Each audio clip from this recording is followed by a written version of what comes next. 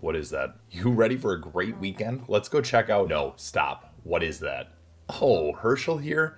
Well, I got your text and thought it was a good idea, so I went and picked him up.